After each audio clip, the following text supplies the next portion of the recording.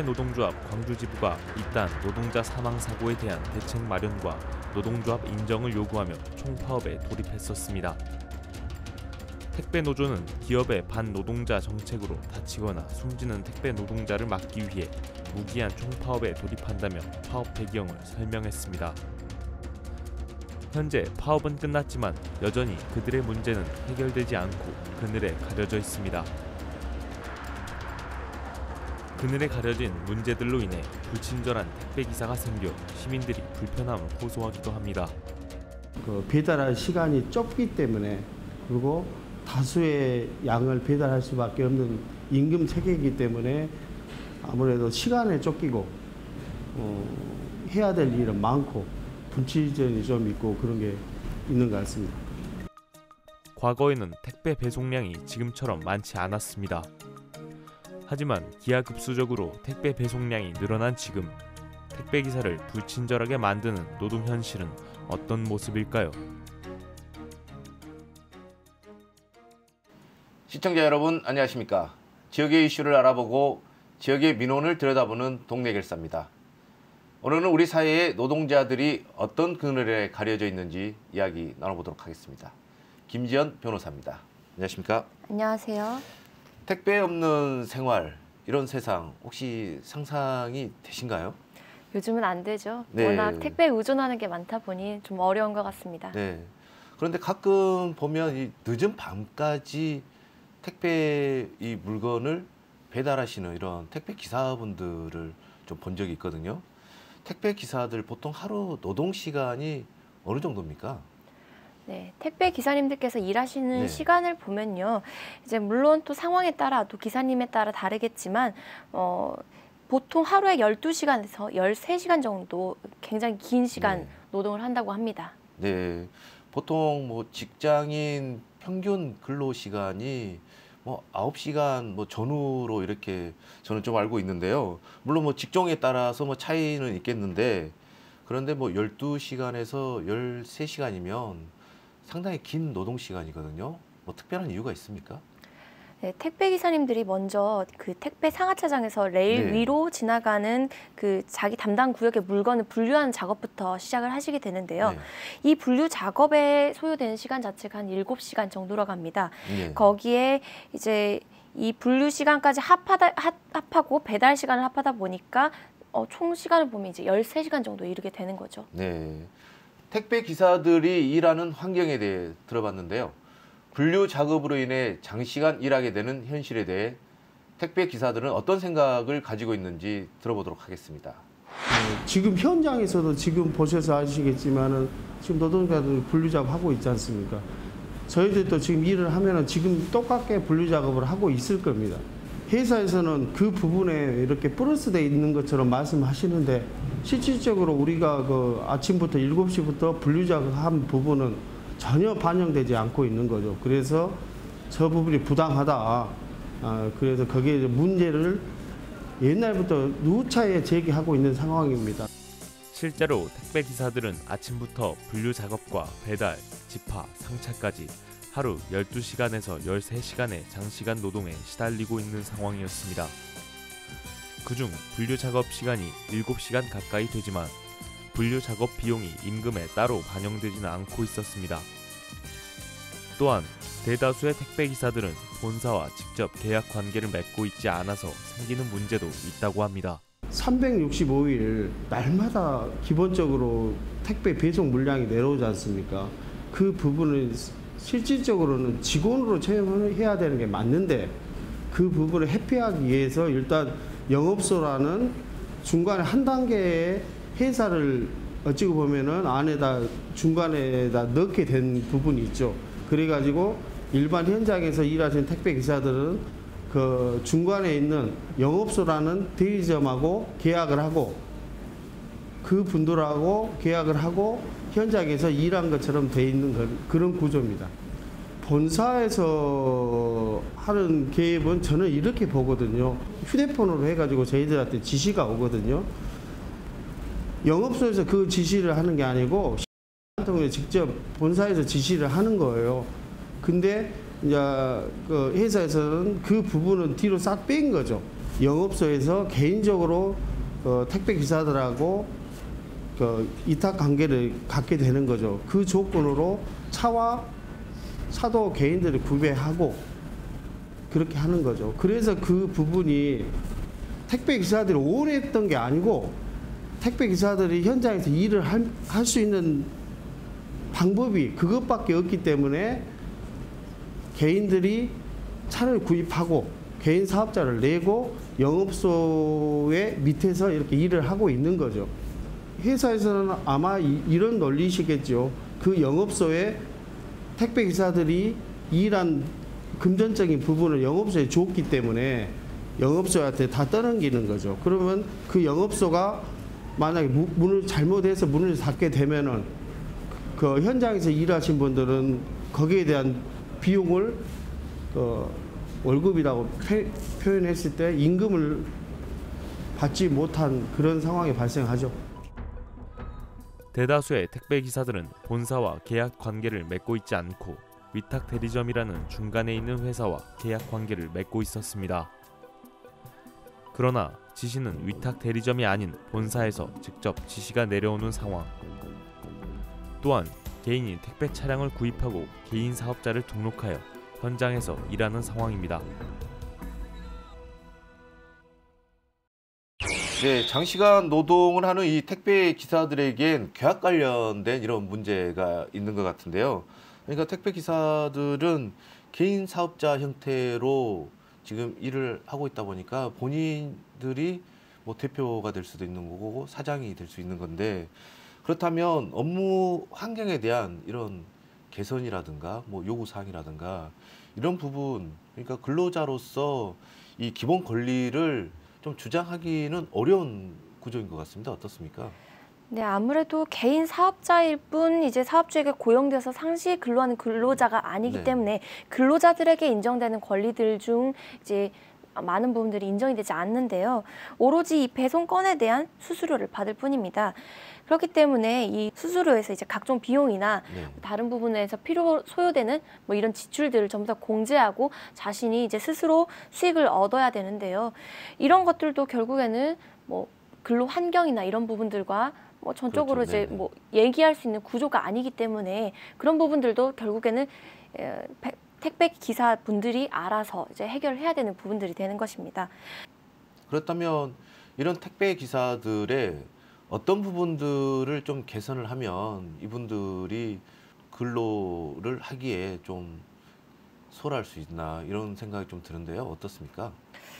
어, 우선 택배 일을 하시는 분들 중에서는 이제 특정 대기업 택 배 회사 같은 경우는 이런 처우 자체가 굉장히 열악하기 때문에 이런 걸 개선을 요구하기 위해 네. 노조를 설립을 했습니다. 근데 이 부분에 대해서 특수고용 노동자가 과연 노조 설립이 가능한가 네. 이런 부분에 대해서 아직 소송에 대한 다른 결과가 지금 나오지 않은 상태여서 이런 부분들이 과연 이제 좀 법적으로 인정이 될 수 있는지 부분에 대해서는 네. 법원에 판단에 맡겨져 있는 상태이고요. 또 상시 근로자와 거의 다를 바 없는 이런 특수 고용 노동자들에 대해서 이제 사대 보험 중 이 고용보험이나 이런 부분들이 어, 가입이 가능할 수 있는 부분이 열려 있기는 하지만 네. 이런 부분들에 대해서 사실 아직까지는 확립이 되어 있는 부분들은 아니기 때문에 이런 부분들에 대한 제도 정착이라든지 또는 추가적인 뭐 좀 특수고용 노동자들의 그 어, 특수성을 조금 반영할 수 있는 새로운 제도를 좀 어, 개선하는 것들이 좀 필요할 것으로 보입니다. 네. 그리고 또 다른 문제인데요. 바로 택배 기사들의 건강 문제입니다. 시민들의 편리함을 위해 노력하는 택배 기사들. 과다한 업무량으로 인한 직업병에는 어떤 것이 있을지 택배 기사들의 건강 관리 상태에 대한 이야기를 들어보았습니다. 택배 노동자들한테 지금 가장 많은 직업병은 아마 극물격계라고 예상이 되고 또 이분들이 음, 식사를 못 하시는 경우가 많이 있습니다. 식사를 점심 때 못 하고 먹어도 좀 빨리 먹어야 되는 여러 데 대해서 위장장애나 이제 내심혈관 질환 이런 부분들에 대해서 좀 문제점이 있다 저희들은 파악하고 있습니다. 그리고 건강 관리를 받으려면은 뭐 검사도 해야 되고 의사 선생님 상담도 해야 되는데 택배 노동자들은 워낙 바쁘십니다. 그것도 물량을 또 하루에 소- 그 소비자들한테 소화를 해야 되는 이런 부분이 있기 때문에 실제로 음, 택배 노동자들이 건강 관리를 받을 수 있고 상담을 받을 수 있는 시간적 여유가 안 돼서 저희 센터에 더 오지 못하고 있는 이런 상황입니다. 근데 이런 실태가 택배 노동자들 실태가 이런 것들이 강주 전남에는 정확하게 음, 조사된 경우는 없습니다. 근로자 건강센터는 택배 기사들이 직업병으로부터 건강 관리를 할 수 있는 시간적 여유가 매우 부족하다고 이야기했습니다. 건강 관리 문제에 대한 해결 방안에 대해서도 들어보았습니다.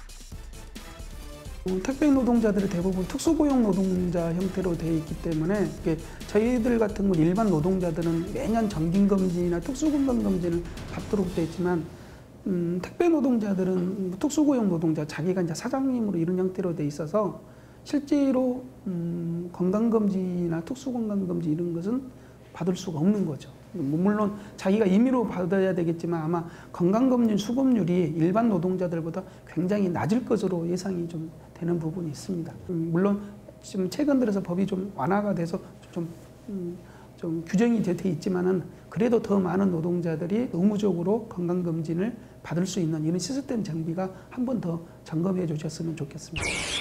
네, 택배 기사들은 그러니까 장시간 배달 업무를 하다 보니까 운전도 좀 오랫동안 해야 되고 네. 또 많은 거리를 직접 걸어 다니고 또 무거운 물건 이렇게 들고 다니고 이런 부분에 있어서 좀 건강 관리가 제대로 좀 관리가 될 수 없는 이런 상황인 것 같은데요.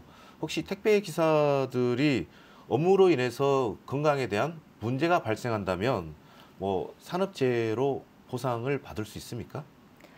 우선 현실적으로 현재 이제 택배 기사님들의 그 환경을 놓고 보자면 네. 사실 산업재해로 보상을 받기가 어려운 구조입니다. 먼저 택배 기사님들 같은 경우에는 현재 개인 사업자의 지위에서 어, 지금 일을 하시고 계시기 때문에 네. 기본적으로 사대 보험 자체가 뭐 의무 가입이 필요하다거나 하는 상황은 아닙니다. 다만 이 개인 사업자로 등록은 해- 하더라도 뭐 다른 고용인을 사용하지 않고 전적으로 이 택배 업무만을 하시는 분들, 네. 실질적인 뭐 근로자 형태와 유사한 분들 같은 경우에는 처음에 이 계약을 체결할 당시에 사대 보험을 가입할 수 있는 길 자체는 열려 있습니다. 네. 하지만 이 택배 회사 같은 경우에는 이런 기사와 그 계약을 체결할 당시부터 사대보험 부분에 대해서 언급을 하는 경우가 뭐 거의 없기도 하고요. 네. 또 만약에 그런 부분들에 대해서 택배 기사가 알고 있다 하더라도 결국에는 그 부분을 좀 포기시키게 네. 되는 경우들이 굉장히 많다고 합니다. 또는 택배 기사 입장에서도 사대보험을 가입을 하게 되면 어, 사업주가 원래 부담해야 될 부분까지 네. 개인 사업자이기 때문에 본인이 스스로 부담을 해야 되는 뭐 그런 큰 부담을 더 떠안게 되기 때문에 이런 사대 보험의 부분을 사실은 가입을 하지 않는 경우들이 대부분입니다. 네. 그렇다 보니까 이 사대 보험 자체가 적용이 될 수가 없는데요. 이 중에 고용보험에 의해서 사실 보호가 되는 게 산재이기 때문에 이 산업재해에 대한 그 보상을 받을 수 없는 이런 형태입니다. 네, 이번에는 우리 주변에서 열심히 국가와 국민들을 위해 일하고 있는 공무원의 업무 환경을 살펴보도록 하겠습니다. 최근 직장 내 갑질 사건들이 사회 이슈가 되고 있습니다. 우리 지역 공무원 공무직의 업무 환경에도 갑질이 존재하는지 노동조합에서 몇 가지 사례를 들어볼 수 있었습니다. 8월 달에 발생됐던 그 직장 상사가 갑질, 어, 그 부분은 뭐 8월 달에 발생됐던 부분도 있었지만 지난 연도에도 더 같은 내용을 가지고 발생을 됐었거든요. 예, 당시에도 음, 일하기 싫으면 가라. 또 뭐 이렇게 어, 여성 비하적인 바, 발언도 뭐 서슴지 않았고요. 그 부분은 저희 생각에는 뭐 예전부터 이렇게 지속적으로 해왔던 사람이었던 거고 그래서 저희들이 8월 달에 어, 기자회견을 통해서 그분을 어, 파면하라라고 이렇게 주장도 했었던 부분이었던 거고요. 그 구청의 보건소장 갑질 사건, 그다음에 시립 도서관의 서모 과장 갑질 사건, 그리고 시청의 사무관 두 명이 에, 과의 직원들과의 어떤 불, 부적절한 어떤 갑질 사건 등이 있었습니다. 보건소장의 갑질의 문제는 예, 상당히 좀 구조적인 문제가 있는 것 같습니다. 보건소장이 음, 대체적으로 한 30대 초반에서 임용이 되면은 20년에서 30년 한 곳에 정년퇴직을 그것도 보건소장으로 한 직급으로 간부로 이렇게 정년퇴직을 하는 그래서 거기에 구성되고 있는 직원들의 마치 본인이 고용한 직원 간호사 줄 세우기 그래서 인사 부분에서도 거기에 맞춰서 인사에 인사 고가를 매기는 그런 유형들 그리고 어, 특정 제약회사의 의약품을 에, 본인이 추천해서 구매해라고 하는 경우 등 이런 다양한 케이스들이 좀 발생이 됐고요. 도서관 같은 경우는 거의 십수년 동안 갑질 사례가 이, 그, 지속 적이었습니다. 그래서 본인이 사과를 노조에서 또 피해자들이 문제 제기를 하면은 순간에 또 사과를 했다가 또 넘어가고 그래서 이런 것들이 수차례 반복되면서 폭행까지 이런 사례가 발생됐었고요. 네, 일단 영상으로 우리 공직사회에서 일어났던 여러 가지 갑질 사례들을 살펴봤는데요. 공직사회 갑질 또한 문제가 좀 많아 보이는 것 같습니다. 지금 공무직 노동조합과 공무원 노동조합 측을 통해서 지금 갑질 사례들을 좀 들을 수 있었는데 다양한 사례들이 있어서 좀 안타까운데 이 밖에 뭐 또 다른 사례들이 있습니까? 네, 사실 사기업에도 그렇듯 이제 상사가 뭐 커피 심부름을 네네. 시키거나 뭐 본인 집에 뭐 스위치가 고장 났으니까 뭐 사오라고 시키는 뭐 이런 경우도 있었다고 하고요. 또 부하 직원에게 본인 차에 그 발레 파킹을 네. 에, 뭐 시키는 경우, 뭐 집까지 뭐 대리 운전을 시키는 경우, 뭐 이런 경우들도 굉장히 많았다고 합니다. 어, 사실 또 어, 일반 사기업에서도 종종 발생하는 일이긴 하지만 이성 간에는 상사가 부하 직원에게 뭐 성희롱을 하거나 네. 성추행을 하는 경우들도 덜어 있고요. 이 행위 자체는 다들 잘못됐지만 본질적 이 행위 자체를 지금 차단하는 게 지금 우선적인 지금 목적이 돼야 될 거 아니냐. 앞으로 지속적으로 지금 교육을 좀 해야 될 것 같다. 어, 저희들이 지금 노동조합에서도 별도로 그동안의 조합원들 고충 상담 내용들을 한번 분석을 좀 해봤습니다. 어, 해봤는데 결국에는 뭐냐면 피해자와 가해자들이 그 기준점을 지금 노하다는 겁니다. 그 기준점이. 그래서 이러한 부분 형태는 어, 교육이 지금 매우 절실히 지금 필요하지 않겠냐라고 지금 보고 있습니다. 그 기준점이라는 게 어떤 기준점을 말씀하시는 거예요? 며칠 전에 음, 조합원으로부터 고충 상담이 하나 들어왔습니다. 쉽게 보면 직장 상사가 아, 퇴근을 합니다. 그리고 밖에 나가서 음주를 하고 들어옵니다. 사무실에 소속된 사무실에 들어와서 어, 야간에 지금 근무하고 여성 노동자한테 이리 오세요. 옆으로 앉아서 차 한잔 하시게요. 손을 터치하면서. 근데 이게 매우 자연스러운 거예요. 그런데 우리 노동자도 하는 말이 이 위원장님 이 부분이 해당이 되나요 안 되나요? 그럼 가해자 역시도 매우 자연스러웠다는 건 아마도 모르고 있을 수도 있겠다라는 생각도 들더라는 겁니다. 이게 지금 기준에 대한 모호성이라는 것이죠. 네, 공직 사회의 이 갑질 사건 좀 하루빨리 근절이 돼야 될 텐데요. 이 공직 사회에서 이 갑질 문제를 좀 해결하기 위해서 법적인 다툼으로까지 이어지는 경우도 있을 텐데 혹시 뭐 실제로 법률 다툼으로 이어진 이런 사건들 있으시죠?